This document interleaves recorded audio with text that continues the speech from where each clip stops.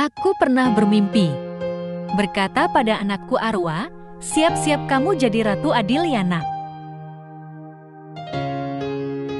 Aku pernah bermimpi, berjabatan, tangan dengan seorang wali, laki-laki tua, dan berkata Nabi Isa akan membawa kesejahteraan.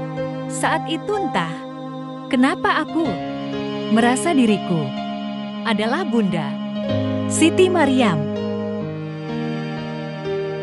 Aku pernah mendapatkan petunjuk sihir yang mengatakan Ati, bapakmu Prabu Siliwangi itu.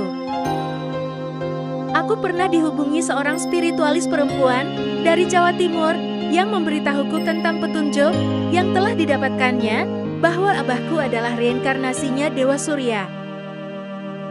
Status ini nyambung dengan salah satu karomah abahku yaitu bila tertawa terbahak yang mengejutkan adalah tanda marahnya dan bisa mengakibatkan kematian seseorang atau terjadi gempa di suatu tempat.